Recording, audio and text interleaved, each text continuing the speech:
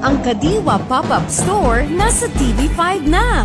Punta na dahil lahat ay kumbidado sa June 30, 2023. Biyernes, alas 6 ng umaga hanggang alauna ng hapon. Sama-sama tayong mamakyaw ng samut-saring mga paninda. Fresh and dry commodities na mura. At nakatulong ka pa sa ating mga kababayang magsasaka. Punta lamang sa Kadiwa Pop-Up Store sa TV5 Launchpad Pay Parking. Reliance Corner Sheridan Streets, Mandaluyong City. Ang programang ito ay sa pakikipagtulungan ng Department of Agriculture, Signal TV, Media 5, TV5, Nation Broadcasting Corporation at Alagang Kapatid Foundation Incorporated. Alagang kapatid. Dito tayo sa totoo Masarap pakinggan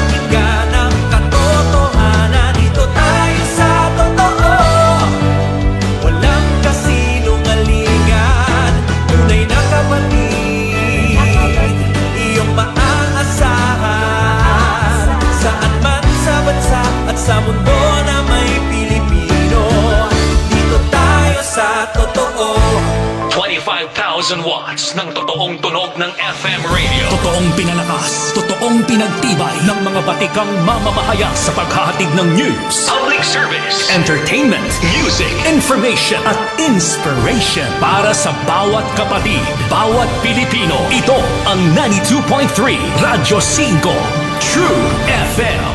Dito tayo sa totoo.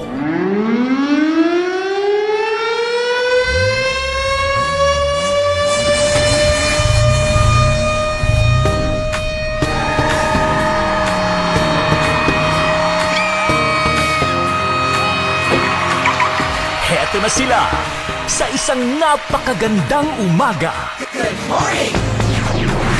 one of the country's broadcast icons. Broadcast icons. And the queen of FM radio. Queen of FM radio. Two generations of broadcasting excellence. Broadcasting excellence. Together in a one-of-a-kind collaboration. One of a kind collaboration. This is history in the making.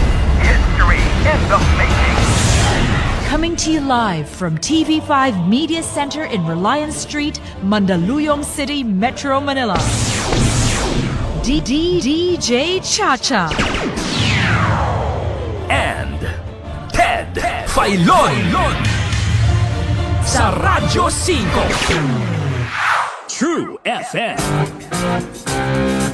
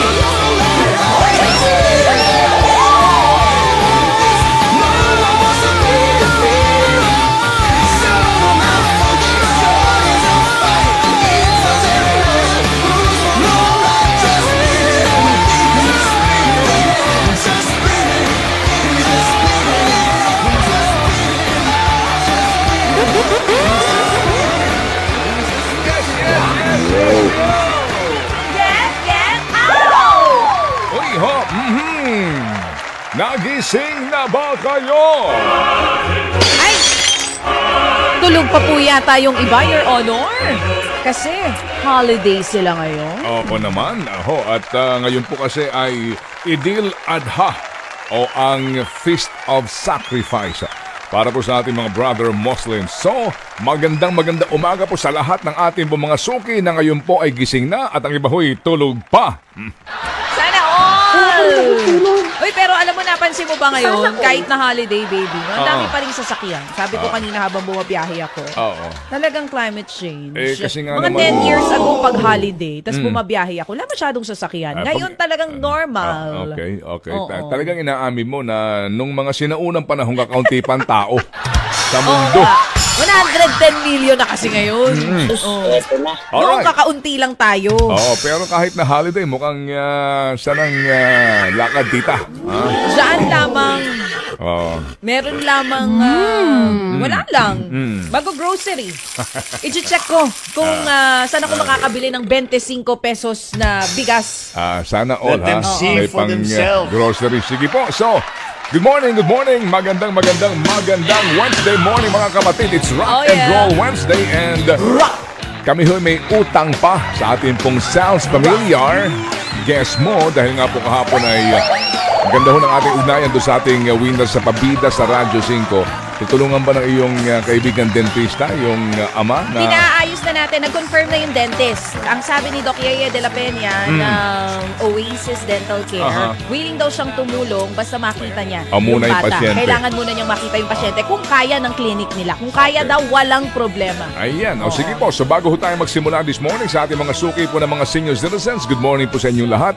At sa lahat po ng mga uring manggagawa na ngayon po ay naka-duty pa rin, muli po natin simulan po ang isang pinagpala pong araw ng paggawa na puno pa rin po ng pasalamat sa ating pong dakilang may likha. Mahal na Panginoon, salamat po muli sa amin pong pagbangon today, araw po ng Miyerkules. Panginoon, kami po muli dumudulog sa inyo sa araw na ito ng aming pong paggawa. Kami po'y pagkalooban nyo ng lakas ng pangangatawan na amin pong mapagtagumpayan ang aming misyon today.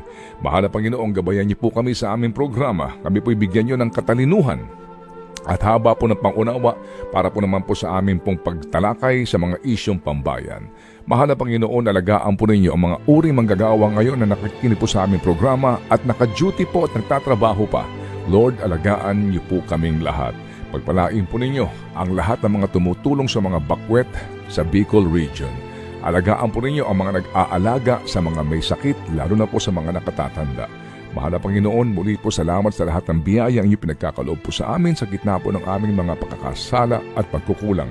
Pagpalain po ninyo ang mga taong nakikinig sa amin na tumutulong po sa aming mga kapatid na amin nakakapanaya. Panginoon, kayo na po ang bahala sa kanila. At muli kami po ipagkalooban nyo ng kahinahunan Natanggapin ang mga bagay na hindi na po namin kayang baguhin. Lakas ng loob na baguhin ang mga bagay na kaya pa po namin at ang karunungan na malaman ang pagkakaiba ng dalawa. All of this we ask and we pray in Jesus' name. Amen. Sa ating mga viewers sa TV5, good morning! Sa 1PH, ang lawak po ng coverage yan. Talaga namang it's all over. Alright? Ang lawak po ng coverage ng Signal TV. Maganda umaga po sa inyo lahat. And uh, lalo na ho sa mga nakikinig ngayon sa radyo sa buong kapuluan. It's 92.3 2 FM in Mega, Manila. Alright, so mga kapatid, bago po ang lahat, ano ho, ay ah, um, um, mag- magandang balita ho muna yung ating pong, ah, ikaw talaga, gusto mo talagang pag-usapan itong, alam ko naman that, that you love the Philippines. So, I, I, I dyan. love the Philippines. I la, la, la, la, la, la, la, love the Philippines. Kasi yung slogan natin before, it's more fun in the Philippines. Ano yung bago? Ah, love the Philippines. Wala nang iba? Ha? Wala nang iba. Ah, masyado ka demanding, ha? Gano'ng tagal pinag-isipan? Ano ba? Ko lang naman malalim, Kasi malalim nung ang... nag-uusap kami ni Marco on our way here, ang dami niyang sinasabi. Malal- Ako parang mala- okay lang sa akin. malalim na pinag-isipan niyang slogan na yan at ah, ang tanong siguro ng marami dyan, eh, magkano kaya ginasta ng ah, taong bayan dyan, ha? sa malalim na pinag-isipang slogan na yan. Kasi kagabi, bago ako mag-retiro, nung nabasa ko yan, sabi ko, uy, bigyan ng 2,000 na nakaisip nito. Pwede sa make us laugh? Bigyan ng 2,000 yan. Nung nakita ko, ang naisip ko, Ah, ano? todo na yan. Hmm, todo na yan. Todo effort na yan. Oh, ba't parang medyo nangingimik ka sa... sa Hindi kasi alam mo naman ako as a sweet girl. Kaya Oo. dapat pag ganito si Marco ang kausap mo. Ah, Oo. ganun. May shield ka, ha? Oo. Sige. Anyway, so, eh, eh, yan po ang desisyon nila no, ng ating pong uh, tourism department. So, suportahan po natin ito. So, na no? dahil ba, Opo. dyan sa bagong slogan na Suportahan yan? po natin to dahil ah, ang, ang, ang slogan ho ngayon natin ay ah, magmula ho sa Wow Philippines, W-O-W, Wow Philippines, kasi po yung wow na yon, maraming ibig sabihin yun eh. Actually, nung panahon ni Dick Gordon yun. Wow Philippines, di ba? Ganda rin ang dating, no? Oo, maganda yun. Tsaka tumatak din wow talaga yun. Philippines, kasi nga ang dami niyang mga pwedeng laruin Correct. na mga aspeto. And then, after that, it's more fun in the Philippines. Eto talaga. Okay. Favorite ko yan. Okay. Kasi talagang lagi ko yung ginagamit pag humahashtag ako. Kasi it's Okay. really more fun in the Philippines. Alright. Ngayon, ngayon po, love the Philippines. So, I assure you, you love sa, it. Sa wikang Filipino, Tagalogin mo. Mahalin ang Pilipinas. Oo. Yeah. Pwede rin namang mahal ang Pilipinas. Hmm, ikaw naman, eh, love nga eh. Love the Philippines. So parang kulang Mahal siguro- kong Pilipinas. Oo. Hindi. Love the Philippines, mahalin ang Pilipinas. Siguro maganda yan ang, ang slogan po ng mga politiko dapat, no? Mahalin nyo Pilipinas, ha? Hindi ba yun ano? Dahil mataas ang bilihin dito, mahal sa Pilipinas? Ikaw naman. Ay, Hindi expensive yung ibig sabihin. Mahalin ang Pilipinas. So siguro pwede rin lagyan ng tagline yun. Alam mo. Oh, love the Philippines as they love thyself.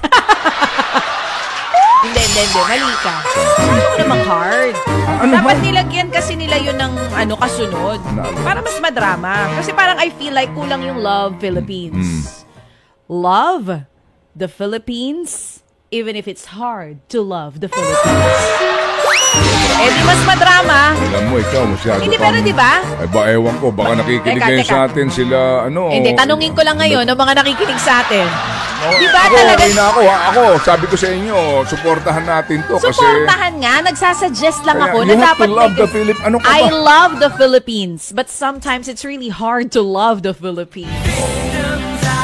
Oh, talaga. Oo. Love the Philippines. Import mamor. I assure you, you love it. Ang aga, ah. Ah, ba, ewan Akala ko sa'yo. good news Aba, tayo. ewan ko sa'yo. Good basta news ako, naman basta yun. ako sinasabi ko, suportahan nga natin to. Kasi, di ba, wala ka naman di magagawa. Although, sa ibang mga bansa, mga kapatid, ah, eh, dika-dekada na pong na- nananatili ang kanilang mga slogan doon. Amazing Thailand, di Oo ba? nga, bakit natin binabago? Ah, basically, you know, Parang yun. okay na Ah, nga yung diba? It's More Fun in the Philippines. Malaysia, truly Asia. Ayan, yan, yan, yan, Diba? yan. Sa Sing- Discover Singapore. Japan, Japan, sagot sa kahirapan. Kasama ba yun? ha?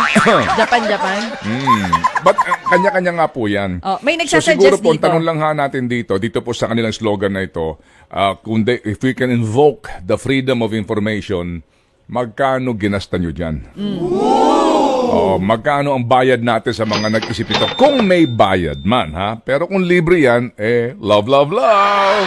Sabi Okay. ni Lilibet Marilan, ayaw daw ba nila ng only in the Philippines? Oo nga, Pwede ano. yan, ano? Mas Maganda maganda. yun. Only Maganda yun. in the Philippines. Yeah, for example, di ba, yung uh, problema sa airport. Oh, eh, only in the Philippines. Hello, yung traffic sa EDSA, Ah. only in the Philippines. Ikaw talaga, ayan. Puro, Pero ang ganda, isipin nyo na puro lang. ka negative, ah.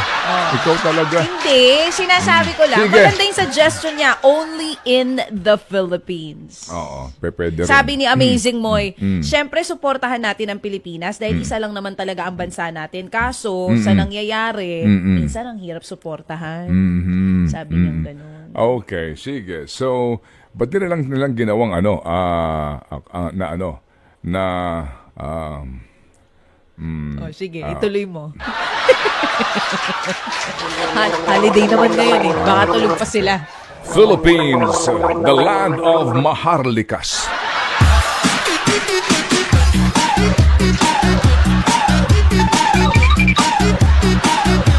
Di ba may nagpapanukala nga pag-uwi ng pangalan ng Pilipinas? Hindi na, okay, sige. So, oh, ito ho, ah, ang, ah, ang ah, s- kataas-taasang hukuman po ay nag... Okay ka na doon? Sa Love the Philippines? Hindi, mamaya ulit. na lang. Sige, okay. Yung suggestion mo daw before, sabi ni Ray Agustin, Ano? Philippines, full of surprises. Pwede.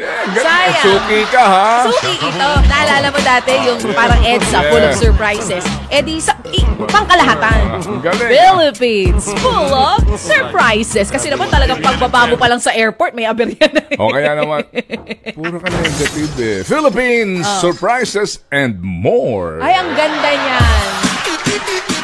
Ang ganda niyan. Alam mo, dahil mahal ko ang Pilipinas, libre po ang VO. Pa-VO nyo sa akin yan. Mm. Love Philippines. Yan. Okay, sige po. Pero maganda rin po yan maging slogan po at panuntunan ng lahat ng mga lingkod bayan. Yan. Lalo na ho itong mga opisyalis ng ating gobyerno. You have to love the Philippines and, you know, moderate your greed. Okay? Sige, sige. Okay. Ano tapos ka na?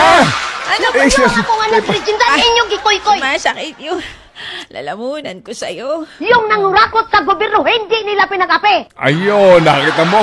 Si Mami G mismo ginagalit nyo. Eh, tulog pa kanina yan. Galit si Mami D. Ah, ah. Nakapirmis na nga ako na yung gikoy-koy. Sa may nato ni Uy, mga bay. Ano ibig sabihin nun? Ha? Ano ibig sabihin? Secret. Okay. Nanay Christy, ganda umaga po sa inyo, nanay, ha? Morning, nanay. Good morning, nanay. Ah, nakapakinig ako sa inyo kahapon. Mm. Oo, habang nandun ako sa gym. Pero kinakailangan ko ipihit yung radyo doon. Para ma... Talagang... Para masagap. Oo, at eh, hinampas ko na yung radyo. Yun, tumunog. Okay, sige. anyway. Asa na ba ako?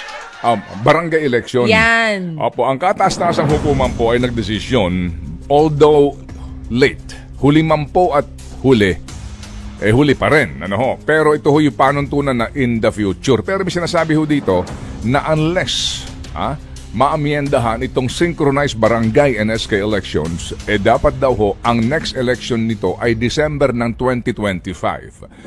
Ang binabanggit ng Supreme Court, oy ha, Ah, labag sa saligang batas itong ipinasa ng Kongreso at pinirmahan ni Pangulong Marcos Jr. na batas postponing the barangay and SK elections for the very reason na dalawang rason gagamitin yung pondo ah, para po sa COVID etc.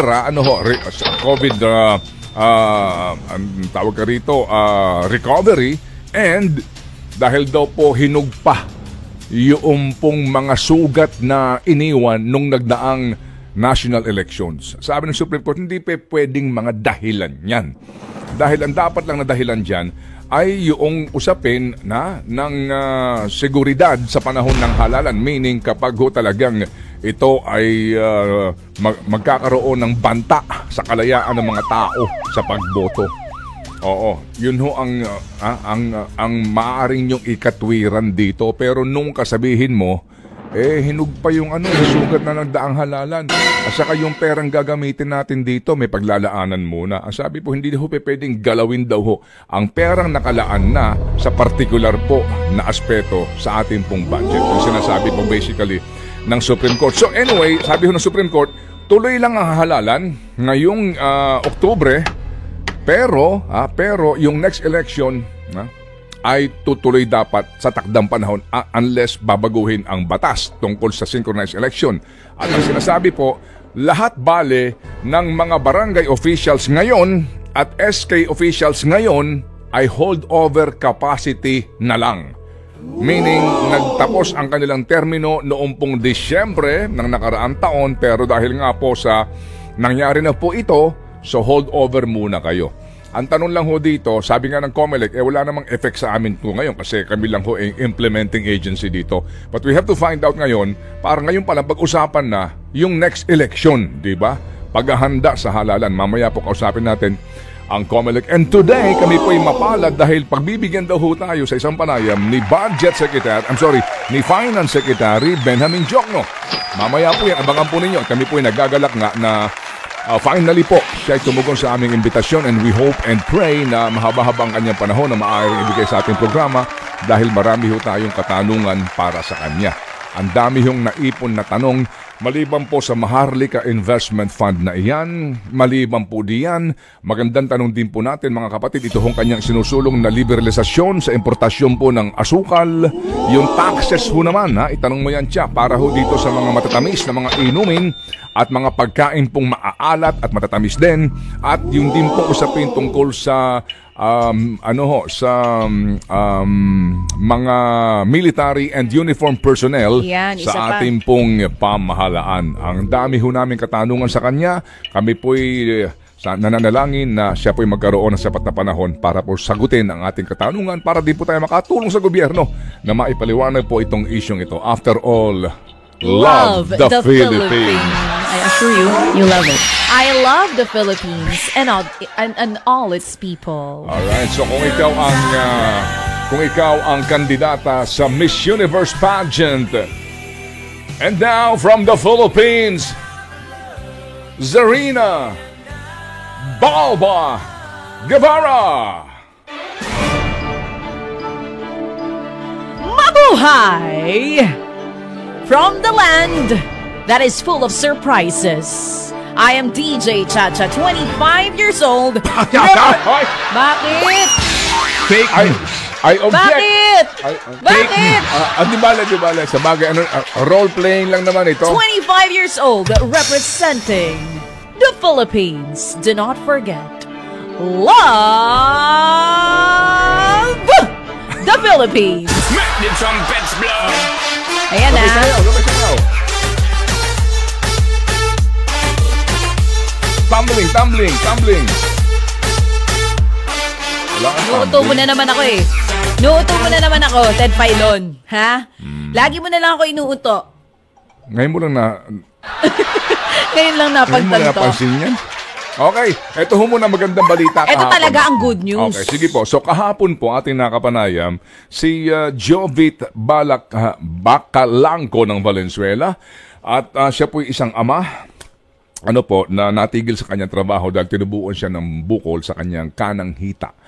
At sa kanya pong pagsasalaysay, hindi na siya nakapagtrabaho dahil nga po lumaki ito ng lumaki ng lubos at ngayon nga po ay kasing laking nga ho ng bola ng volleyball. Totoo po. Siya po ay napadala sa atin ng mga larawang kahapon. And uh, kahapon po, sabi nga namin, dalawang libo ang kanyang premyo. Wala ho naman tayong pinapangako po dito, kundi po ang uh, ating pong uh, tulong na natatanggap from Happy Anonymous. Ano ho, na malaking tulong na po ito sa pangkaraniwang pamilyang Pilipino. Sabi ho niya, yun daw hong perang kanyang gagamitin ay hindi niya gagamitin sa pagpapagamot o bili ho na para daw ho sa kanyang mga anak na matagal na daw ho niyang hindi nakakasama sa labas ng bahay o nabibigyan man lang ho siguro ng uh, masarap na uh, makakain sa mga fast food. Ayun po sinasabi niya. And then, maluha-luha siyang nagsasabi nga kung ano ang sitwasyon niya bilang isang ama na ika po niya, ang feeling niya daw ho eh wala na siyang silbi. At uh, may pakakataon din daw ho na siya'y sumusuko na sa hamon na ito. Well, mga kapatid, nagtapos po ang ating uh, contest sa kanya pong pagtugon ng tama sa ating tanong tungkol sa ating aral po na pag-aralan sa uh, The Daily Bread. And uh, bago magtapos ang programa, baby girl, magkano ang nakalap nating halaga na ngayon po ay hawak na ni Tatay Joviet? Kahapon nga po, um, sa pagtatapos ng programa namin, nakakalap po tayo galing sa ating mga Happy Anonymous nang umabot sa 64,449 pesos. At yan pong halaga na yan ay naipadala na rin ng ating kasamahan dito na si Ed Aserada. May nagpahabol pa ng isang libong piso. So ngayon po ipapadala natin yan. Kaya ang total po ng tulong para sa pamilya ni Tatay, ah ah, kasama na dito, para po sa pamilya ni Kuya Joviet ay 64,449 pesos. Okay, sige po. So mamaya po, muli natin kakausapin si Tatay Joviet ha, para lang ho natin malaman, ano ho, at marinig ho ninyo kung natanggap niya na nga ito hong halagang ito at kung ano po ang kanyang balak. Maliban po naman dyan, mamaya po tayo tatawag din sa isa po nating winner sa What's on Your Mind na tumutulong po sa kanyang ina para lang ho natin uh, isabihin sa kanya na tayo po ay may natanggap pa na pahabol na tulong para po sa kanya at sa kanyang inaalaga ang ina. And yesterday ho naman mga kapatid, ang ating pong winner sa ating pabida sa Radyo 5 ay ang ating pong panalo ng 4,000 pesos para sa ating pabida sa Radyo 5 ay Happy super, Anonymous. super duper deserving si Albert Manzanas all the way from Quezon City. 4,000 pesos! Si Albert nga po ay isang factory worker at obvious na obvious sa kanyang pakikipag-ugnayan sa amin kahapon na talaga namang certified at solid na listener po natin itong si Kuya Albert. So, si Kuya Albert po at para sa kanyang mga kasamahan na nakatutok sa atin ngayon, magandang magandang Oo. umaga po sa inyo. Kung naka-overtime kayo ngayon, Albert, ha? good morning. Ito yung mga uri manggagawa na tumatanggap po lamang ng minimum wage.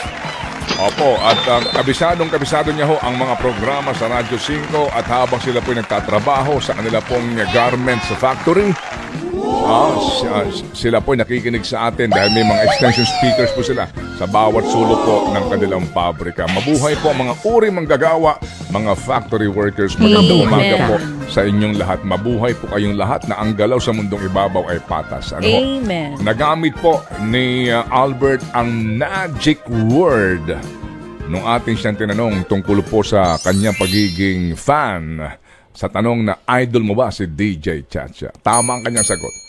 Pag ho kayo tinanong, idol niyo ba si DJ Chacha? Mm-mm. Ang sagot, opo. Mm-mm. Lalo na ho noong uh, siya'y sexy pa. Kasi ngayon po ang taba-taba na niya. Yun. Okay. That's the magic word, ha? Alright? At obvious po na talagang pinaghandaan ito ni Albert. Oo. Kasi marami na tayong nakausap, Mm-mm. nakamuntikan na. Oo. Kaya lang namali. Oo, Pero, si Albert, hindi talaga niya kinalimutan. Oo.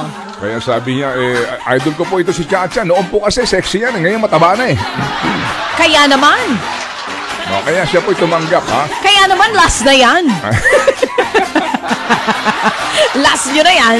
Dalawang libong piso po from Happy Anonymous, Nagbagong sir. isip ko. Maraming salamat po. Deserving po itong si Albert. Gusto And, ko ang sasabihin na nila ay voluptuous. para mas mahirap. uh, si Happy Dabawenyo. Thank uh, you. May buntag, ah. And also kay, uh, of course, na kay DJ Chacha. And again, we say thank you po sa lahat ng ating mga happy. Opo, hindi sila nagpapakilala, pero sila po ay patuloy pong tumutulong sa ating mga kapatid na nangangailangan. Mabuhay kayong lahat. Coming up next ay... Eto na ang News 5.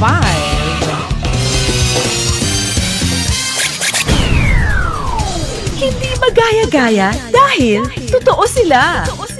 Ah, ganon. Ted Filon at DJ Chacha. On 92.3 True FM.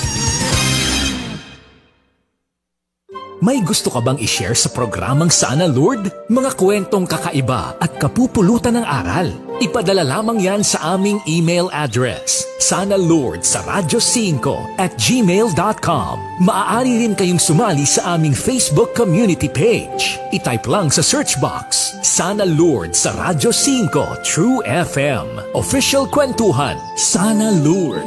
Lunes hanggang biyernes, alas 11 ng umaga hanggang alauna ng hapon. Sana kwento mo na ang susunod na babasahin ni Lord De Vera. Sana Lord sa Radyo 5, True FM. Dito tayo sa totoo. Sasagutin na ang inyong mga tanong ukol sa serbisyo ng mga ahensya ng gobyerno, trabaho, negosyo at kalusugan. Itutulay ni Cheryl Cosing ang tulong na kailangan mo. Sagot kita! Sagot kita sa 92.3 Radyo 5 True FM. True FM. Dito tayo sa totoo. Broadcasting from the Radyo 5 studios in Reliance Street, Mandaluyong City. 25,000 watts of Ted Filon and DJ Chacha sa 92.3 Radyo 5 True FM. True FM. Dito tayo sa totoo. Ex- exclusively on 92.3 True FM. True Oy, FM. ganda umaga po kay Ginoong Johnny Nang ng DN Steel Corporation. Sir, good morning po sa inyo at sa inyo pong buong pamilya. And also kay Ginoong Raymond Zon ng JS Steel Industries. And also, ganda umaga po kay Tatay Totoy Guanyo at maging kay Mama Del Macarandan and kay Inang ah, Esther Perez. Malapit ng kanyang kaarawan Friday, ha, 85th birthday. Happy, happy birthday, Inang. And uh, pagbati rin po ng maganda umaga kay Ninang Tina Monzon Palma na sa mga oras na ito ay nanonood, nakikinig sa atin. Maya-maya ng kaunti, siya po ay sisimba na. Yan, ganun talaga si ah, Ninang, ha? Samantala, Manong Tots, good morning! At sa lahat po natin mga suki ng mga senior citizens, magandang magandang magandang umaga po sa inyong lahat sa mga nagmamaneho ngayon, nakikinig sa ating programa. Gandang umaga po. Ngayon, ito na po ang ating News 5. At sa ating pong mga balitang pambansa po muna, ibinasura ng Sandigan Bayan ang kasong ill-gotten wealth laban sa yumaong dating Pangulong Marcos Sr. at asawa niyang si Imelda. Ayon sa Sandigan Bayan 2nd Division, hindi sapat ang iniharap pong ebidensya ng prosecution. Hindi rin daw po napatunayang ill-gotten o ninakaw ang tinukoy na ari-arian ng mga Marcos. Sa inihaing civil case ng Presidential Commission on Good Government o PCGG noong 1987, pinababawi ang ilang assets at ari-arian po ng umano'y mga dummy o associate ng mag-asawa. Pero lumalabas po sa desisyon ng anti-graft body na hindi napatunayan sa mga dokumentong may interes o kontrol ang mga marko sa mga sangkot na korporasyon. Ito po ilan lamang sa mga pending cases pa rin ngayon sa Sandigan Bayan. Idineklarang unconstitutional ng Korte Suprema ang pagpapaliban sa barangay at sangguniang kabataan o SK elections mula sa orihinal na schedule noong December 5, 2022. Sa kabila niyan, kinilala ng korte ang praktikalidad sa nakatakdang pagpapatuloy ng eleksyon sa huling lunes ng darating na Oktubre. Nananatili sa panunungkulan ng mga SK at barangay official dahil nga sa postponement. Sa inihaing petisyon sa pangunguna ng election lawyer na si Attorney Romulo Macalintal, iginit nilang walang kapangyarihan ng Kongreso na baguhin o palawigin ang termino ng mga opisyal ng barangay. Sabi naman ng SC, hindi dapat ganun katagal ang pagpapaliban ng eleksyon. At mamaya po, samahan nyo kami sa ating talakayan para ho mas mailiwanag pa, mas maipaliwanag pa ho ng klaro ang napaka-importanting isyong pambayan na ito. Samantala, Ibinasura din po naman ng Department of Justice ang kahilingan ni suspended Negros Oriental Congressman Arnie Teves na mag-inhibit ang kanilang prosecution sa kasong pagpatay kay Governor Ruel Digamo at siyam na iba pa. Giit ng DOJ na natili silang independent at impartial sa ginagawang investigasyon. Nauna pong nakiusap ang kampo ni Teves sa DOJ na mag-inhibit sa Pamplona massacre case dahil daw sa mga binibitawang salita ni Justice Secretary on leave Boying Remulla. Sa halip ay nais nilang sa ombudsman ipaimbestiga ang kaso. Sa ngayon po hindi pa rin umuuwi sa bansa si Teves para harapin ang kanyang kasong murder at iba pa. Dalawang retiradong general ang itinalaga sa Department of Education. Magsisilbi si retired Major General Nolasco Mempin bilang Undersecretary. Dati siyang commander ng 10th Infantry Division ng Philippine Army. Habang itinalagang Assistant Secretary si retired Brigadier General Noel Baluyan na dating Assistant Commander ng 3rd Infantry Division. Kinundi na naman ng Alliance of Concerned Teachers o ACT ang anilay militarisasyon ng sektor ng edukasyon. Sinigundahan po naman ng Philippine College of Physicians at Private Hospitals Association of the Philippines Incorporated ang mungkahi po ni Acting Health Secretary Ted Erbosa na bawiin na ang COVID-19 State of Public Health Emergency. Ayon kina Dr. Ronjin Solante at Dr. Jose Rene de Grano, kontrolado na ang pagkalat ng COVID-19 sa bansa. Dapat na rin daw pong iayon ng pamahalaang Marcos ang desisyon nito sa pagbawi ng World Health Organization sa COVID bilang Global Public Health Emergency. Base raw sa ulat ng DOH, pababa na ang bilang ng mga kaso ng COVID pati na ang bilang ng mga naoospital at namamatay ng dahil sa virus. Samantala sa oras naman po na 6.39, balita naman sa lalawigan, wala pa rin plano ang FIVOLX na itaas ang alert level status ng Bulkang Mayon kahit bahagyang lumala ang pag-aalboroto nito. Ayon sa ahensya, patuloy ang pagbuga ng lava ng bulkan na dumaloy na hanggang halos isa't kalahating kilometro mula sa crater. Umabot din sa mahigit isang daan ang naitalang pagyanig at uh, nagkaroon pa ng 241 rockfall events sa nakalipas na magdamag. Patuloy rin sa pagbuga ng usok at asupre ang mayon at sa ngayon nananatili ito sa alert level 3. Sa kabila ng mga abnormal na aktibidad nito, nilinaw ng FIVOLX na mahihinang enerhiya pa rin ang taglay nito kaya wala pa rin indikasyon ng malakas na pagsabog. Samantala po, nangangalap umano ng mga sibilyan ang wanted na dating Vice Mayor ng Maimbong Sulu na si Pandon Mudhasan para bumuo ng isang private army. Itong siniwalat po ng PNP kasunod ng nangyaring engkwentro nang subukan nilang maghain ng arrest warrant laban sa suspect nitong weekend. At ayon sa PNP, nakatanggap sila ng tip na bumubuo daw ng private army si Mudhasan na posibleng gamitin sa paparating na barangay at SK elections. Posible po daw na durugista at miyembro ng Abu Sayyaf ang kinakanlong ng dating Vice Mayor. Sa ngayon po'y patuloy ang pagtugis kay Mudhasan. Under control naman daw ang sitwasyon sa Sulu kaya pinauwi na ang libo-libong naiipit sa engkwentro. Samantala, nagumpisa na kahapon ang public consultation ng COMELEC para alamin kung dapat nga bang ituloy ang barangay at SK elections sa Negros Oriental. Pinangunahan ito ni na COMELEC Chairman George Garcia at ng iba pang commissioner. Ayon sa COMELEC, hindi idadaan sa survey o botohan ng public consultation dahil magdedesisyon lang sila base sa mga sentimiento at ebidensyang makukuha sa pulong. Present din sa konsultasyon sina PNP Chief Benjamin Acorda at AFP Chief of Staff Andres Centino. Tiniyak nilang magiging ligtas ang probinsya kung matuloy doon ang halalan. Kakaunti nga lang ang dumalo sa unang konsultasyon pero maglilibot pa naman ang COMELEC sa ibang bayan sa lalawigan. Sumuko na po sa National Bureau of Investigation o NBI si Isabelo Bautista ang tinuturong suspect sa pagpatay sa broadcaster na si Chris Bundukin sa Oriental Mindoro noong Mayo.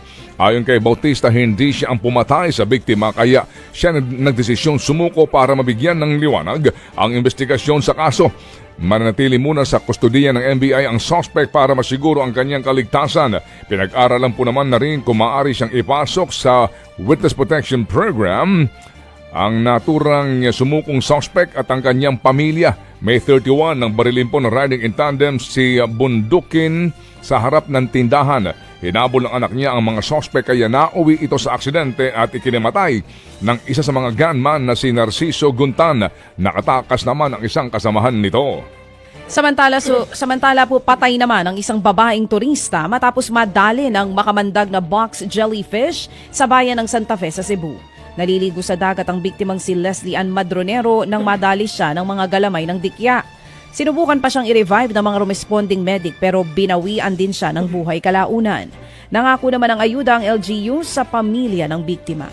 Nagbabala rin sila sa mga maliligo sa dagat na mag-ingat sa mga dikya. Alam nyo yung mga dikya na yan, ha? panoorin nyo itong uh, Our Planet. Oo, Season 2. Meron dyan pong tampok kung bakit dumarami mga dikya ngayon sa karagatan. At maganda rin pong panoorin ni Environment Secretary o Yulo Loisaga ang uh, Our Planet na series sa Netflix kung may time siya. Alas 6.43 po ang ating oras ngayon sa ating hunamang mga balitang pangkalakalan at pangkonsumer. Nakahiram po ang San Miguel Corporation ng isandaang bilyong piso mula sa konsorsyum ng mga bangko para sa MRT-7. Gagamitin po ang pondo para nga sa pagtatapos ng konstruksyon ng MRT-7 na nasa halos 62% ng kumpleto nitong June 14. Ang MRT-7 ang unang proyekto po ng SMC sa mass transport system. Ito magkakaroon ng labing apat na istasyon mula Quezon City hanggang San Jose del Monte, Bulacan. Nasa 300,000 pasahero kada araw ang makikinabang dito sa unang taon ng kanyang operasyon. Malaking ginhawa nga ito kung sakasakali pong matapos na. Samantala, sapat naman daw ang supply ng bigas ng Pilipinas sa pagpasok ng ikatlong quarter ng taon. Ayon kay Undersecretary Leo Sebastian ng Masagana Rice Industry Program, aabot pa ng mahigit dalawang buwan mula katapusan ng Hunyo ang supply ng bigas. Tinataya kasing tumaas ang ng uh, 6 na porsyento ang produksyon ng bigas mula sa panahon ng ani nitong Enero hanggang Hunyo. Mayroon din daw parating o paparating na panibagong import at dagdag na ani sa mga susunod na araw. Samantala po malapit na rin po magbayad ng toll ang mga motoristang dumadaan sa North Luzon Expressway mula Caloocan pa Espanya. Binigyan na po kasi ng Toll Regulatory Board ng provisional approval ang toll rate sa unang bahagi ng NLEX Connector. Nasa 86 na piso ang inaprobahang toll fee para sa Class 1 vehicles. Nasa 215 piso ho naman para sa Class 2 at 300 at 2 piso para po naman sa Class 3. Pero wala pa raw natatanggap ang tollways na notice para magsimula ng maningil. Tinanggal na ng Agriculture Department ang temporary poultry ban sa Belgium. Yan nga ay matapos ideklara ng World Organization for Animal Health na ubos na ang kaso ng H5N1 bird flu sa bansa. Base rin daw sa mga nasuring dokumento ng DA mula sa Belgium, naresolba na ang lahat ng aktibong kaso at wala ng panibagong outbreak. Dahil dyan, pwede na raw ulit mag-angkat ang Pilipinas ng poultry products sa Brussels. Samantala po, manatili ho naman si Manny V. Pangilinan bilang chairman at CEO ng Meralco. Yan nga po'y matapos aprubahan ng kumpanya ang palitan ng posisyon ng ilan nitong opisyal. Yun nga lang, hindi na po hawak ni Pangilinan ang pwesto po ng president. At ayon sa Meralco, ang palitan ng posisyon ay kasama sa layunin ng kumpanya na magkaroon ng streamlining o para nga po mapadali ang operasyon nito. Una pong napili si Pangilinan bilang president at CEO ng Meralco noong nakaraang buwan para po sa pagpapalit sa nagretirong si Ray Espinosa. Samantala mga kapatid sa oras naman po na 6.46 sa balita naman sa labas ng bansa. Naniniwala ang ambassador ng Russia sa United Nations na mas lumakas pa si Russian President Vladimir Putin kasunod ng nangyaring rebelyon sa Kremlin. Anya, mas dumami pa ang nakuhang suporta ni Putin matapos ang pananabotahe ni Wagner leader Yevgeny Prigozhin. Matatanda ang nagkasundo sino Russian mercenary chief Prigozhin at si Belarusian President Alexander Lukashenko na iatras ang puwersa nito sa Moscow. Bilang kapalit yan ang pag-exile ni Prigozhin sa Belarus at ang pagbasura ng Russia sa reklamong rebelyon sa kanyang hanay. Opo. Samantala po daw, eh, ang pinakahuling balita diyan, nagsalita na po mismo si Putin. At sinabi ang dahilan kung bakit niya binigyan po ng amnestiya itong grupo po ng mga nagrebelding ito. Para daw ho hindi na dumanak ang dugo ng mga Ruso. Pero may mga nagsasabi naman doon na kung ganyan ka kaluwag sa mismong ha, oo, nagtangka nalusubin ng Moscow dala ang mga tangke at mga armas. Eh bakit daw napakahigpit nila doon sa mga releista? Kontra po sa pamahalaan ng Rusya na agad ikinukulong Opo at pinarurusahan at sinasaktan pa. Ang sabi nila, meron ding double standard doon. Dalawa ang patay habang tatlo ang nawawala matapos nga po matinding pagulan naman at pagbaha sa Chile. Gamit po ang rescue boats at helicopter, pilit pong sinagip ng mga otoridad ang mga natrap sa kanilang tirahan. Patuloy pang inaalam ang lawak ng pinsala ng kalamidad. Samantala, nilamon ng malaking apoy ang isang high-rise residential area sa Ajman City sa United Arab Emirates. Sa tindi nga po ng sunog, makikita sa video na buong gusali na ang natutupok. Doble kayod naman ang mga bumberong maapula lang ang apoy. Wala namang naitalang nasaktan habang patuloy pang inaalam ang naging sanhi ng sunog. Isang tulay po naman ang bumaksak matapos madiskaril ang dalawang cargo train sa Yellowstone River sa Montana sa Amerika. Sakay ng cargo trains ang gagamitin sa ng espalto o molten sulfur. Patuloy naman ang ginagawang assessment ng may-ari ng may kargang chemical kung nahalo ba ito sa ilog. Wala pang napaulat na nasaktan sa nangyaring sakuna. Nasagawa na ho ng investigasyon sa naging sanhi ng aksidente. Dead on the spot ang isang binatilyo matapos barili ng mga pulis sa loob ng kanyang sasakyan sa Paris, France. Ayon sa mga ulat, hindi huminto ang 17 anyos na biktima para sa traffic check. Nang harangin ng mga otoridad, humarurot ito paalis. Dito na siya malapitang binaril. Patuloy naman ang isinasagawang investigasyon sa nangyaring insidente. Wow. Alas 6.49 lang ating oras ngayon bago po ang ating balitang entertainment. Magandang umaga po kay Kuya Al Mendoza. Kuya Al, good morning. Ganda ng kanyang uh, suggestion ha, para po dito sa FIBA World Cup na imbitahin natin itong mga surviving na mga original na Philippine team na lumahok sa mga unang edisyon ng FIBA ng kakaunti pa ang tao sa mundo. Kuya Al, good morning ha.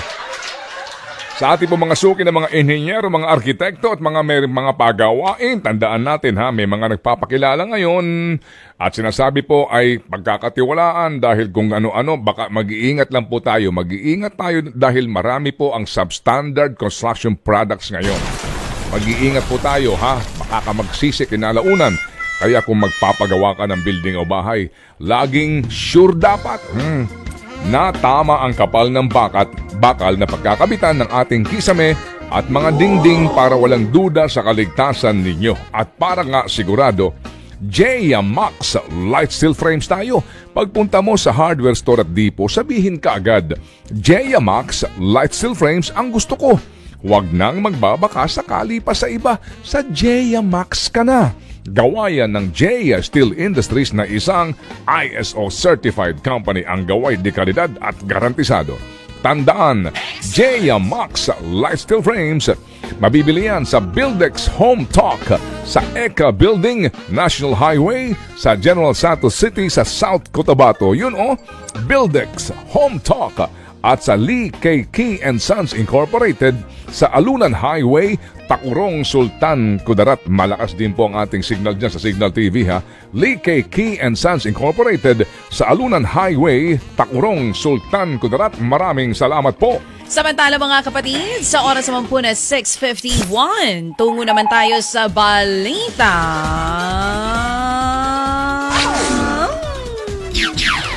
Entertainment. Nako, ito na. Maglalabas ng bagong awitin ng bandang Ben and Ben sa biyernes. Eh, naku, inaabangan na ni Erwin Ocanya ito. Inaabangan na ng mga liwanag ang Could Be Something na single hit OPM band para sa kanilang ika-anim na anibersaryo. Mapapakinggan yan sa iba't ibang streaming platform starting on June 30. Maliban sa bago nilang awitin, malapit na rin magsimula ang world tour ng Ben and Ben. Maglilibot sila sa London, Los Angeles, Toronto, Sydney, Dubai at sa iba pang mga bansa. Nakoy, ipaparinig namin yan sa inyo dito rin po sa Radyo 5. Samantala po naman, ibinahagi po ng magandang buhay host na si Melay Contiveros na nakitaan siya ng ilang bukol sa kanyang dibdib. At ayon kay Melay, hindi niya pa ito kinikwento sa iba, maging sa kanyang pamilya. Dahil dito, nagdasal daw siya sa iba't ibang simbahan sa Cebu at Bohol nang siya'y magbakasyon. Matapos nito, bigla na lang daw hong nawala ang mga bukol sa kanyang dibdib. Kaya raw simula ngayon ay hindi na raw siya mag-iisip ng anuman pong negatibo dahil alam niyang nandidiyan ang Diyos. Samantala, sumulat ng maiksing awitin si Bruno Mars bilang pasasalamat sa kanyang Pinoy fans na dumagsa sa dalawang gabi niyang concert. Tinawag ni Bruno na Dancin' in Manila ang kantang alay niya sa mga Pinoy. May, may, may audio ba ito, Tita Mitch? Nagpasalamat din siya sa Pilipinas na espesyal daw para sa kanya. Nangako naman ng film singer na babalik siya sa bansa. Oh, 'di ba? Meron pa siyang uh, maiksing uh, composition for the Pinoy fans. Mm, yun. Dancing in Manila. Because, mm, you know, Bruno Mars Love love, the Philippines. I assure you, you love it. Paspasan po naman ang paghahanda ni na Arjo Ataide at Maine Mendoza para po sa kanilang kasal sa Hulyo. At ayon kay Arjo, si Maine daw ang punong abala sa kanilang kasal. Nais niya lang daw ho na masunod ang gusto ni Maine para sa kanilang espesyal na araw dahil kaligayahan lang daw ng kanyang fiancé ang gusto niya. Formal na pong namanhika ng pamilya po ni Arjo sa pamilya ni Maine nitong linggo. Samantala, magkakaroon na ng star ang aktor na si Chadwick Boseman sa Hollywood Walk of Fame matapos ang kanyang pagpanaw po noong August 2020. Makikita na ang pangalan ni Chadwick sa Walk of Fame sa Motion Picture category. Sumikat bilang Black Panther si Chadwick na bahagi ng Marvel Cinematic Universe. Pumanaw nga ang aktor noong taong 2020 matapos ang kanyang pakikipaglaban sa sakit na colon cancer. Uy, samantala po, alas 6.54 ng ating oras ngayon. Ito po naman ang ating Sports 5. Abay, Bigo. Ang Gilas Pilipinas sa kanila pong unang tune-up game sa Europa kahapon kontra Estonia. Maagang natambakan sa first half ang Gilas pero humabol ito pagpasok nga ng third quarter. Mas dumikit pa sana ang koponan sa huling quarter ng laro pero nabuhayan ulit ang opensa ng Estonia para selyuhan ang panalo 81 to 71. Ang ating pong top scorer sa Gilas ay si Dwight Ramos na mayroong 16 points pero naging dagok sa Gilas ang tinamong injury ni Justin Brownlee sa second half kaya kinakailangan siyang ilabas sa laro. Nagka-back spasm din si Scotty Thompson kaya hindi muna pinalaro. Ang susunod humang kakalaban ng Gilas ay ang Finland mamayang gabi. We hope na hindi ito serious na injury ni Justin at saka ni Scotty. Samantala, hindi rin maganda ang resulta ng second game ng Gilas Pilipinas women's team sa FIBA Women's Asia Comp kahapon. Tinambakan ng Gilas ng five-team defending champion or ng five-time defending champions na Japan sa kanilang second game sa group stage sa score po na 95-97. Pinaula na ng tres ng Japan ang Gilas kaya hindi na nakaporma pa ang mga Pinay. Top scorer ulit ng Gilas si Vanessa de Jesus na mayroong 12 points. Pero hindi ito sapat dahil pangalawang sunod na talo na ito ng koponan.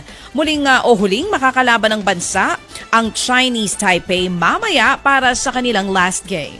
Alright, sa volleyball ho naman, wagi kaagad ang defending champions na Creamline Cold Smasher sa una nilang game sa pagbubukas po ng PVL Invitational Conference kahapon. Tinalo po ng Creamline ang Cherry Tigers sa loob lamang ng 3 straight sets. Sakto ho ang panalo sa pagbabalik po ni Eliza Valdez sa Creamline matapos ang kanyang tinamong injury. At ang susunod naman mga kalaban ng Creamline ay ang Quezon City Gerflor Defenders. Susubukan ho naman bumawi ng Cherry Tigers sa next game kontra sa Akari Chargers. Sa PBA, in-extending rain or shine Elasto Painters ang kontrata ng kanilang player na si Ray Batak hanggang taong 2026. Pinirmahan ni ng Batak ang bagong kontrata kasunod ng nakatakdang pag-expire ng kanyang unang maximum 3-year contract sa susunod na taon. Taong 2021 ang pumirma sa e-painters si ng Batak galing sa Letran. Isa siya sa inaasahan ng kupunan pagdating sa kanilang opensa. Samantala po naman, tuloy-tuloy ang preseason tour ng PBA sa Pasig mamaya. Una po maghaharap sa Inares Arena ang uh, hapon ang TNT Tropang Giga kontra Meralco Bolts. Go Bolts! Aham, hmm. Samantala po ang second game naman ay ang NLEX kontra San Miguel Beermen. At yan po yung live na ating mapapanood. Siyempre, dyan po naman yan sa PBA Rush on Signal TV at sa One Sports on Signal TV. At yan!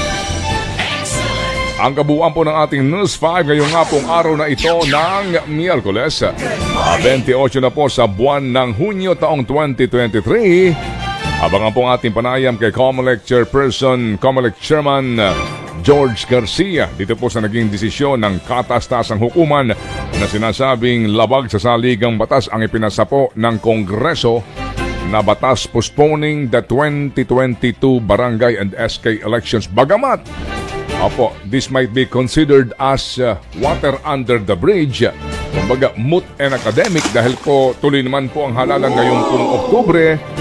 Opo, ang tanong lang ho dito, ano ba ang laman nito at ano ba ang uh, direksyon na tatahakin ng COMELEC relevant to this particular decision of the highest tribunal of the land. Mga kapatid, kami po'y magpapaalam na sa ating mga kapatid sa TV5. Kung nais pa rin po ninyong masilayan po ang ganda ng ating pong uh, baby girl, DJ Fake Chacha. news. Hoy, Erwin Ocanya, makisama ka. Because you know, love Ted Filon, love DJ Chacha, love the Philippines. Kayo po'y maaaring na manood ngayon sa 1PH on Signal TV o kaya po naman sa YouTube channel po ng Newsweb Everywhere and sa Facebook page po ng Radyo 5 and definitely mas mainam pong makinig sa Radyo 5 92.3 True FM. Dito tayo sa totoo. Be right back. 92.3 DWFM DWFM. True FM True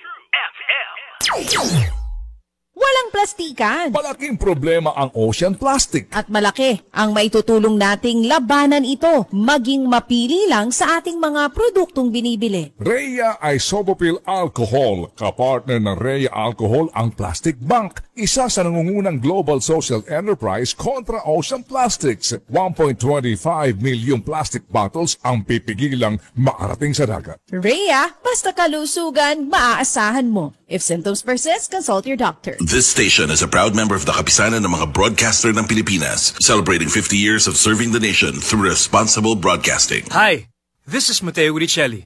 Primera Light Brandy na! Salamat suwabe at salamat sulit Salamat sa panalong quality Salamat sa important ingredient mo Kaya primera klase na ang banding Salamat Speed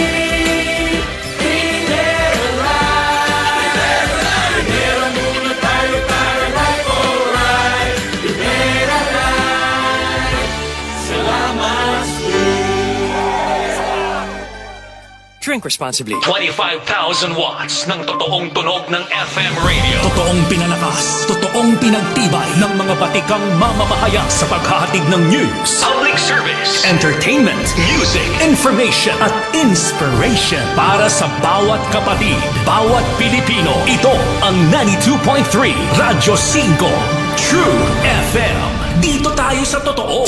Ex- exclusively on 92.3 True FM. True FM.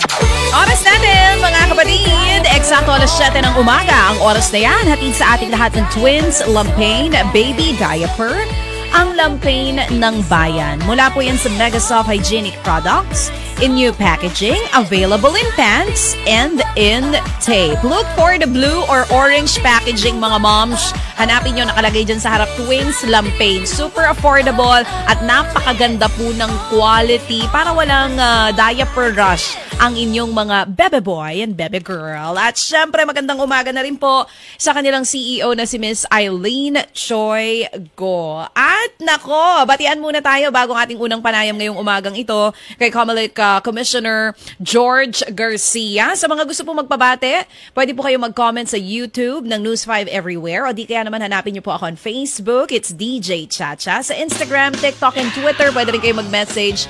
It's underscore DJ Chacha. At i-like at i-follow nyo na rin po ako dyan. I'm also on YouTube, DJ Chacha. I-search nyo lang po yan. O, eto na. Eto na, eto na ang pabati ng mga kapatid natin. Magandang magandang umaga po kay Flora Paglikawan, si Conde Estanislao. Very good tandem, sabi niyang ganyan. Thank you po, Madam Conde. Ang ganda ng suot ni Chacha, nakaka-love the Philippines. O, di ba? Pwede ako maglaro ng Touch the Color, Abelardo Celestial. Good morning na rin kay Manuel Rimando, si Jeffrey Dungo. Magandang umaga po sa inyo. Happy, happy birthday daw sa kanyang apo na si Gabe Muñez. Si Marasol Andres Arabis, good morning din po sa inyo. Eto pa. Good morning, my idol. Super ganda ng program. Grabe. Sana po makasali ako sa inyong mga pakonte. Si Francis Palamares. Si Marjorie Fortunado. Sabi ni Marjorie dito, Good morning, Chacha Ted Filon. Always watching mula po sa Quezon Province. Si Poten Jacobo, magandang umaga din po sa inyo. Magandang morning na rin kay Steve Raymond, Evelyn Tuvida, si Tammy Zolina, and also to Reynaldo Agustin. Ito yung mga nagme-message naman po sa atin on Facebook and Instagram, maging sa Twitter. Good morning kay Madeline Reyes. Ayan, masugi daw nating tagapakinig. Pati si Rodel Escobedo.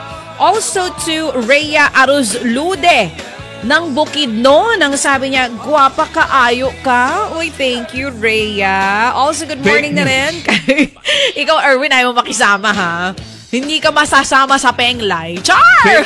Oy, ito na morning. Ah, sa mga kabitenyo pong nakatutok sa atin ngayon, si Don Don Herrera. Also, magandang magandang morning din po ito mga nagme-message naman po sa atin on Twitter. Good morning na rin kay Mary Ann Garachico.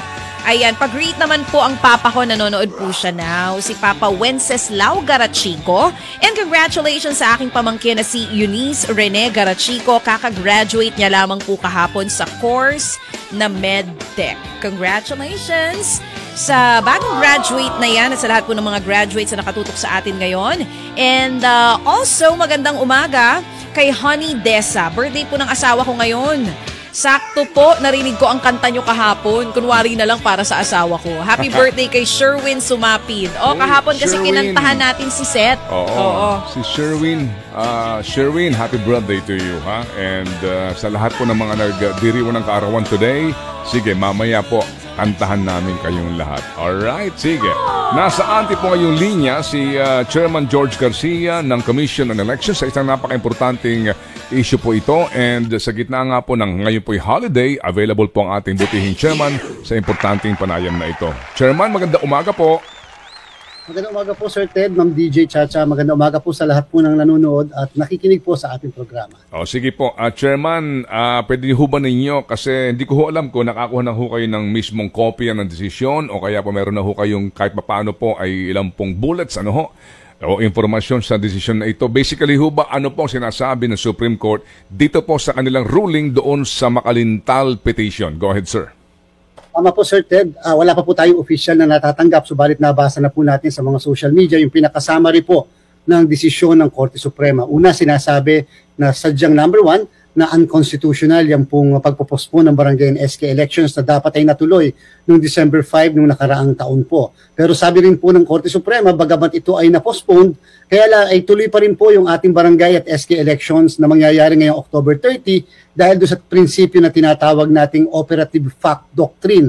Ang ibig sabihin daw po ng doktrinang yan, dahil uh, sa panahon na valid ang, ang batas na yan at hindi pa nadedeclare na unconstitutional certain, ay may mga implikasyon na nangyari katulad ng paghahanda ng Commission on Elections, yung paggastos ng pondo ng bayan para sa paghahanda na yan. Kaya po, tuloy-tuloy na rin daw po kahit na declared unconstitutional ang uh, batas na yan. Sinabi rin po na kung sakasakali, ang ating pong susunod na eleksyon ay hindi sa 2026, Sir Ted, kung hindi sa, sa December din ng 2025. Ibig sabihin po, parang lumalabas mas maiksi ang magiging termino ng ating mahahalal na mga barangay at SK officials ng October 30 na ito.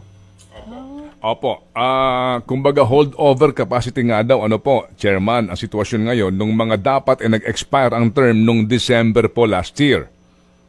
Tama po. So lumalabas po kung ano yung sinabi para doon sana sa na-declare na unconstitutional na batas Mm. na holdover. Holdover pa rin sila patungkol naman doon sa dating batas na bago inamen po nung bagong batas na nagbabago ng ating eleksyon. Apo, ang holdover nila ho ay yung pong una, ito ho yung nga yung synchronized barangay and sangguniang kabataan elections. Dito ho ba, Chairman, naglatag ho ng panuntunan sa mga, mga atin lang nababasa ngayon, ano po, ng panuntunan, ano ba lang ho dapat ang tama at legal na katwiran para ka mag-postpone ng halalan?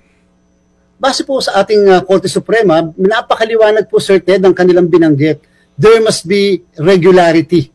Regularity in the election. Ibig sabihin daw po, kung hindi magiging regular kasi Sir Ted, ang election, pat, uh, halimbawa every three years, eh mababayolate daw po yung constitutional right of suffrage, yung karapatang bumoto ng ating mga mamamayan. So yun po yung isang pinakamalaki at mabigat na panuntunan ng Korte Suprema. Dapat merong regularidad ang ating halalan. Opo, at ah, at sabi din po sa Supreme ah, at nabanggit ba din ho dito, Chairman, na hindi da- ano ang dapat na ikakatwiran mo? Ano ba ang ang makatarungang katwiran para ka mag-postpone ng halalan?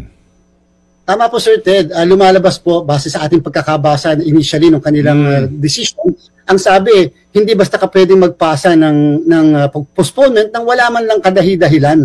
At kinakailangan yung kadahi-dahilan na ay ay nakalatag at nakabase sa sa kung ano yung katotohanan para magkaroon ka ng isang panukalang batas. Ang ah, lumalabas po sabi daw po ng Korte Suprema, mukhang hindi daw po nailatag mabuti at wala yung reason or grounds or basis para ipagpaliban ng barangay at SK elections. Opo, sa sa umiiral po ngayon na ating mga batas na malamang po ay doon kayo sasandal sa magiging desisyon ninyo dito po sa Mungkahi, diyan sa Negros, no? Na postponement ng eleksyon, di ba?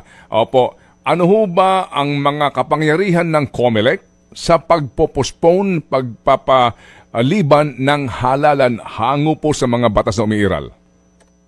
Sir, Sir Ted, naging maliwanag din po sa naging desisyon ng Korte Suprema na nilabas kahapon na una, ang COMELEC ay pwede lamang mag-postpone ng eleksyon sa isang parte ng ating bansa. Hindi po kami pwede mag-postpone sa, sa buong bansa ng eleksyon. Yan po ay ah, kapangyarihan ng Kongreso. Number two, base po sa umiiral nating batas, pwede lamang kami mag-postpone ng, ng isang eleksyon sa isang parte ng ating bansa kung may mga sumusunod na grounds tulad ng ah, insurrection, rebellion, uh, violence, terrorism, pagkasira o pagkawala ng election paraphernalia at yung tinatawag na force majeure at other similar causes. At pagkatapos meron pang qualifying word po. Dapat daw po the, the conduct of the election becomes too impossible. Ibig sabihin hindi ma-hold the election kasi imposible lalo halimbawa na wala ang election paraphernalia, mahirap na po siguro mag-hold ng election kapag ka ganon. At meron pa pong qualification pa na dapat kung sakali magpo-postpone ang COMELEC uh, ay kinakailangan mga 30 araw lamang mula sa pagkatapos nung ground na kung saan naging dahilan ng postponement ng barangay at SK election o ng anumang eleksyon. Ayon, so ibig sabihin po, iyan ang pagbabasihan nyo ngayon for the decision dito po sa mungkahi ng ilan na i-postpone ang halalan ng SK at barangay sa Negros ah, ano, ah, towns.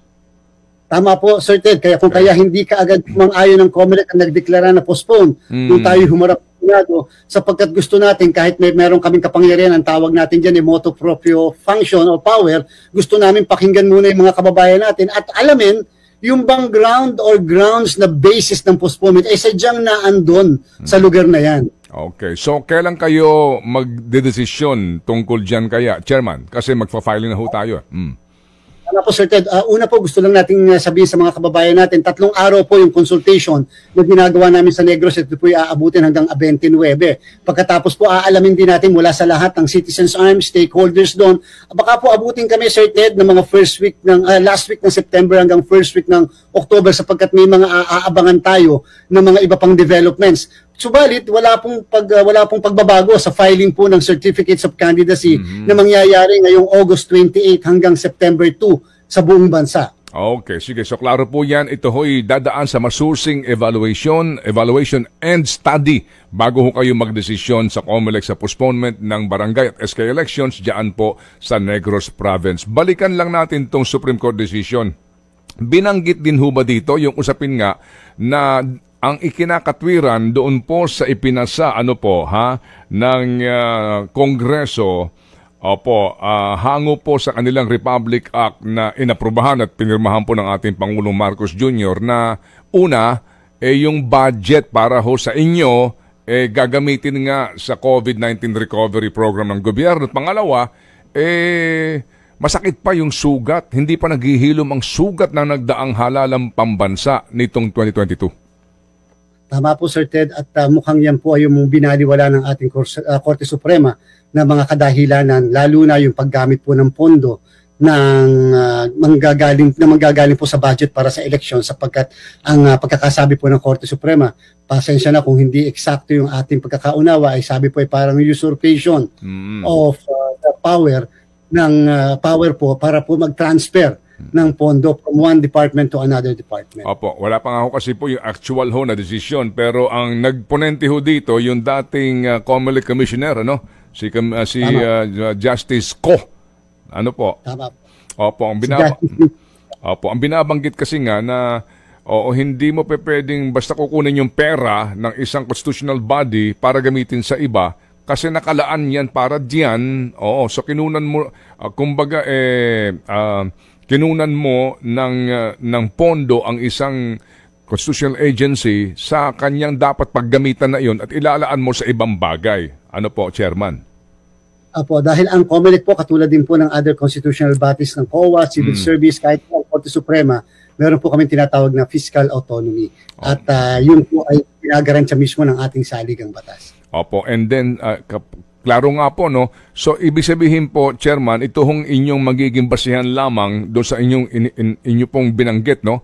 Na mga kadahilanan kung kailan ka lang pwede mag-postpone ng halalan, in this case po, hindi siya sumaswak doon. Kasi sinabi ni Chairman, di ba, pag mayroong threat no, sa buhay ng mga COMELEC uh, officers doon sa lugar o sa mga butante mismo o may kalamidad, imposible na maka, makaboto ka, may mga nawawalang paraphernalia, mga ganon, eh wala namang kasama dito yung hindi pa naghihilom ang sugat na nakaraang ng halalan. Alam niyo po Sir Ted, napaka-importante rin po na nalaman ng lahat pagka po uh, ang pinag-uusapan ay yung postponement. Siyempre po strict ang amin pong magiging approach at interpretation sapagkat ayaw natin mag-create ng hindi magandang president dahil ang mangyayari na lang po lahat ng parte ng ating bansa ay baka mag-request ng postponement. Eh 43,000 barangays, ibig sabihin 43,000 barangays magre-request ng postponement dahil lang sa paniniwalang merong terorismo, violence at merong uh, ano pang ibang kadahilanan o yung force majeure na tinatawag. Mm-hmm. Okay, sige po. So, uh, Chairman, sa dito ho sa desisyon na ito, Opo, concerning na ho no yung sinasabi ng Supreme Court na oh, ang next barangay SK election dapat Disyembre ng 2025.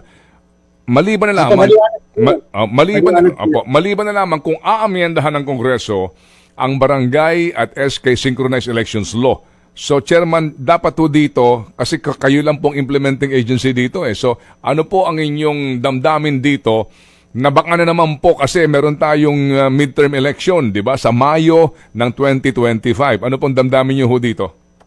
Alam niyo po, Sir Ted, nagulat po tayo. At siyempre, kinikilala at nire-respeto at ginagalang natin ang uh, desisyon ng Korte Suprema. Kaya lang po dalawang election po kami sa isang taon na mangyayari isang midterm election, tama po kayo yung Mayo, which is automated uh, election, national and local.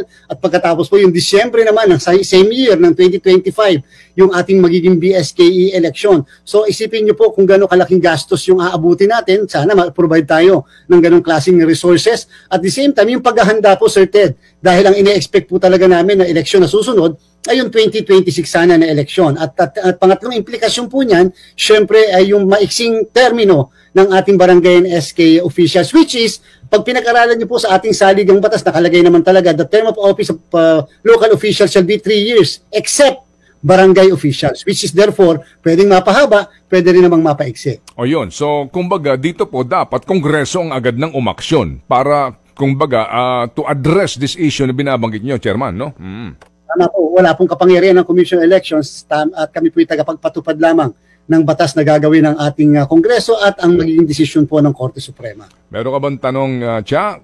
O maliwanag na ba lahat? O, Malinaw na malinaw na ang lahat. o sige, if I may just pose a prejudicial question to the good chairman. Uh, chairman, alam, di ho ba ang batas naman po concerning the uh, barangay elections, ano ho? At ang, barang, ang, ang mismong local government ko nagsasabi na ang barangay, ano ho, ay dapat uh, apolitical, no? Ang barangay elections po, kaya nga walang mga partido yan eh. Di ho ba? Dapat po ito ay um, ay kumbaga ay uh, wala pong halong politika at hindi dapat nakikialam nga dito ang mga politiko.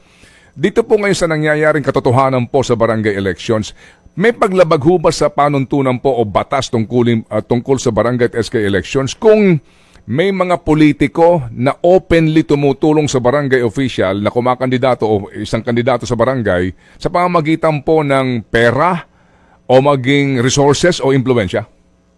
Number one po, pa, pag, pagka po COMELEC ang pinag-uusapan, yung Omnibus Election Code, hindi po maliwanag yung kanilang uh, liability doon. Pero siyempre, pagpasok ng Local Government Code, papasok po naman at uh, Republic Act 6713 at 3019 ng Anti-Graft and Corrupt Practices Act at saka yung Ethical Standard, maaaring po silang uh, ma- ma- ma- makasuhan doon sa mga batas na aking nabanggit. At the same time po, Sir Ted, tatandaan din po ng lahat na kahit barangay and SK elections ito, ay naandyan pa rin po yung prohibition patungkol sa social services. Ibig sabihin, kahit ikaw ay probinsya o kaya ikaw syudad o munisipyo na may paggastos patungkol sa isang proyekto, kakailanganin niyo pong humingi ng exempt, exception mula sa Commission on Elections. Mm-hmm. Hindi porket ang eleksyon ay hindi national o local at ito'y barangay, eh wala nang exception na kukuhanin. Taban, tatandaan niyo po, kung hindi man disqualification dahil hindi man kayo ang tatakbo, kasong kriminal po yan mm-hmm. na may isa hanggang anim na taon na pagkakakulong. So, ngayon po, Chairman, nasimula na ba ang ban? Kailan pong sisimula ang ban tong para dito na, example, kung si Mayor, ano po, ay uh, merong programa para ho sa feeding program o pamamahagi ng ayuda sa barangay na ito. Uh, sakop ba ho yun ng supposed to be ban na ito? Opo, sakop po yan base sa ating umiiral na patakat. Magsisimula po yan, Sir Ted, ngayong darating na election period sa unang araw sa August 28 onwards. Okay, August 28, no? Para lang ho ninyo maintindihan kasi baka kayo dito ma-technical, no? Ng mga kalaban nyo dyan sa barangay na bawal kang gumamit ng resources ng gobyerno sa mga anumampong serbisyo sa starting August 28, no? Na maari pong uh, kulayan na may kaugnayan sa barangay election. Sir Ted, at matatapos po yan 30 days pa, ha? 30 days after the election which is therefore November 30 pa po tapos mm. yung prohibition na yan. Yung pong mga campaign paraphernalia, Chairman, ano ba limitasyon nito sa mga barangay elections? Kasi ang iba, eh, di ba, may pinopondahan din po naman eh ng ilang pong mga politiko ito, no? Tarpaulin man yan, sample ballot man yan, campaign materials, jingle, yung iba, may mga jingle pa sa barangay. Paano po? Sir Ted, ngayon po nakikita natin naglipa na naman talaga sa bawat pa, pa, parte ng ating kalye ang mga iba't ibang materials na nagpapakilala doon sa kandidato. Aaminin natin sa puntong ito, wala pang kapangyarihan ng COMELEC. Maaaring nasa ibang departamento pa o ahensya ng pamahalan dapat ang nagre-regulate dito. Pero pagpasok po ng August 20 at yung mga taong yan na nagpapakilala ngayon ay nag-file ng kanilang candidacy, sila po ay considered ng kandidato at hindi pa po start ng campaign period sapagkat Sir Ted, ang campaign period ay magsisimula pa lamang sa October 19. Kung kaya, lahat dapat ng campaign materials o materials na nagkalat, naglipa na sa ating mga kalsada, dapat tanggalin nila once sila ay nag-file ng kanilang candidacy sapagkat alam nyo, pag hindi nyo po yan tinanggal o naglagay pa kayo at yan ay premature campaigning, yung mismo mga kalaban nyo magpapile ng kasong disqualification Mm. sa inyo at kasong kriminal na again may isa hanggang anim na taon na pagkakakulong. May limit ho ba ang laki ng kanilang mga posters at campaign materials, Chairman? Tama po, kahit po yung ating pong poster, halimbawa 2 by 3 lamang ang size niyan. At ang isa lang po nating nagiging problema talaga, Sir Ted, ay yung naging desisyon po ng ating Korte Suprema ah, na yung pong private properties ay hindi pwedeng galawin ng Commission of Elections. Hindi namin yan pwedeng puntahan, tanggalin yung mga campaign materials kasi po baka makasuhan ng trespass to dwelling yung ating mga election officers at election assistants. Pero sa lahat ng public places, may limitasyon lamang at may limitasyon din Sir sa paggastos. Dapat po ay pwede lang kayong gumastos ng 3 piso bawat registered voter sa period ng ng campaign period. Sampung araw lang mula October 19 hanggang October 28. Okay, so kami po yung muling tatawag to educate our people ano ho, dito po sa mga panuntunan na ito para humabigyan po ng guidance ang lahat. And uh, Chairman, uh, para po sa pagpaparehistro, kailan po ulit uh, Chairman uh, uh, dito po sa filing ng Certificate of Candidacy at tapos na ho ba talaga yung uh, yung continuing registration? Opo, tinapos po natin noong January 31 upang mapaghandaan natin at makita kung sino yung double multiple registrants at nakakita tayo 491,000 at yan po pinapatanggal natin. Tapos at the same time po, ah, muli ah, August 28 hanggang September 2, ang filing po ng Certificates of Candidacy at ang ating pong simula muli ng registration ay ngayong February ng darating na taon. Kaya lang, maaari pong magbago yan, Sir Ted, ganung naandyan na po muli ang ating barangay and SK election ng 2025 naman. Pero po by next year, February of 2024, start na po muli tayo ng continuing registration. Okay, sige. So, uh, So Chairman, magiging ano? busy si na chairman. Ay, oo. Super Mm. duper busy. Eh din, tanong lang dyan, meron ba silang, may pera bang Yun bibigay sa kanila? nga, oo, pondo. Okay, Chairman, salamat po na marami sa inyo pong panahon. Despite nga ho na ngayon po'y holiday, kayo po'y bukas pa rin po para po sa importanteng talakayan na ito. Anytime po Sir Ted, Ma'am DJ Chacha, mabuhay po kayo at ang inyo pong programa. Thank you si Chairman George Garcia ng COMELEC. Ano ho, ngayon nga po kasi ay pista opisyal. Ano ho, idil adha ngayon kaya po walang pasok sa lahat ng uh, tanggapan gobyerno at pribado sa buong Pilipinas maliban na lamang po kung kayo po'y obligado magtrabaho at double pay kayo ngayon. Yan. Sana all. Sabi ho ng uh, Labor Department. O Beno, ah, natanong ko lang po yun ha, pasintabi po itong usapin nga po ng pangingialam ng mga politiko sa barangay elections kasi nga it's really, you know, parang misnomer no, ha? parang di tugma na ito hong ah, barangay election ay apolitical. Wala, kaya walang partido eh, di ba? Walang partido. Eh, sa katotohanan lang po naman talaga, eh, cycle po ito eh, cycle. Si barangay chairman mm, ay dumu- lumalapit sa kanilang gobernador, sa kanilang congressman o mayor para, number one, sa kanilang mga proyekto, sa kanilang barangay. O, doon sila lumalapit eh. Pangalawa mga kapatid, ano po, pag may mga problema sa kanilang barangay, sa usapin po ng anumang aspeto po, medical man yan o ano, konsihal, ayan, mayor, congressman. Kapag tumatakbo si barangay chairman, doon po sa tinatawag na mga ABC, ha, yung ah, Association of Barangay Chairman ah, Seat. Kapag kasi ikay naka, nanalo dyan bilang presidente, ikaw yung uupo sa konseho. Na meron kang one seat eh. Kumakatawang ka sa mga barangay kapitan sa inyong bayan o lungsod. O doon din sa lumalapit po ito, eh, sa congressman o kay mayor, kay governor.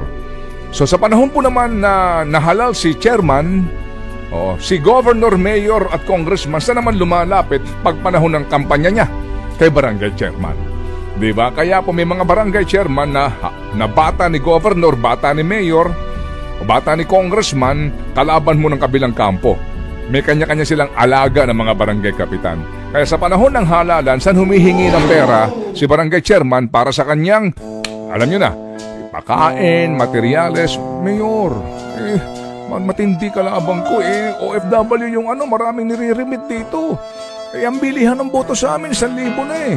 Mayor, kailangan ko ng pandagdag. Congressman, di ba tinulungan kita? Congressman, nangyayari yan. So, I mean, eh, ano eh, walang katotohanan na ang barangay o ay dapat po neutral sa panahon po ng politika. Hindi. Hindi nangyayari yan. Hindi Ang barangay talaga. chairman po. Oh. Hindi po. Sabi nga ni Ori Babia, nako, kalokohan yung non-partisan ng barangay election. Aba, dito sa amin, lahat ng gustong tumakbo sa barangay at SK elections, kailangan mag-apply kay, kay Gov at Congressman para mahalal. Oo. Sad reality. Tsaka may Yan mga ang sabi niya. gobernador na nadidikta. O ikaw ang chairman ngayon. May ganun po talaga. Congressman na ganun. O, pero kapag nanalo si congressman, si barangay chairman, na supposed to be tumulong sa iyo, automatic, hihingi ng pondo. Dali lang ha. Nako, Kabisado mong kalakaran ah. ah, binder. Ay, hindi binder. naman natin nilalahat, Okay. pero may mga ganun talaga. Okay, eto ho muna sa mga nakikinig ngayon sa atin, mga magulang, ano po, sa mga ah, sa mga estudyante, tama-tama ngayon kasi po walang pasok supposed to be. May mga may mga school na break na ngayon. May mga Oo. school naman po na may pasok pa. Oo. Kaya ang ating pabida sino? Ayan, sandali ho muna. Ito po, ah, ayon po sa Department of Labor and Employment, isa nga po sa mga dahilan kung bakit napakaraming walang trabaho ngayon ay ang tinatawag na job mismatch o hindi pagkakatugma ng kakayahan ng aplikante sa kung ano ang demand ng gusto niyang pasuking trabaho. Kaya po naman sa mga magsi-senior high school dyan o kolehiyo, mainam po na kayo'y magabayan kung anong track o kurso ang nababagay sa inyo base sa inyong interes, kakayanan po at personalidad. At ang STI College ay handang tumulong sa pamamagitan po ng kanilang Students Career Opportunity and Personality Evaluator o SCOPE. Bumisita po lamang online sa scope.sti.edu. And in less than 30 minutes, mas mabibigyan pong gabay ang mga incoming senior high school o college students. Kaya naman, huwag ipagsawalang bahala ang pagpili po ng kurso. Make the right choice with STI. STI Scope. Ano girl, may reaction sila? Ay oo, ang dami. Lalo na doon sa huling mga binanggit mo. Mm-hmm. Severina Ortiz, certain nangyayari yan dito sa amin. Kung minsan naman, nakakatulong din naman sa amin. Si Amazing Moy, in reality, barangay election po ang pinaka-divisive election sa bansa. Nasa barangay din magkakaalaman kung malakas si mayor, governor, o congressman sa isang barangay. Parang poll survey ang nangyayari.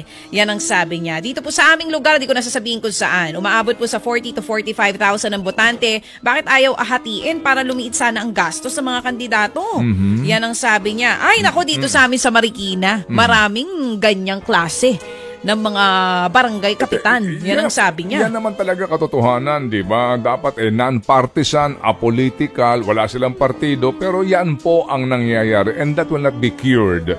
Mga bagay na hindi na ho natin kayang baguhin. Mm. Mhm.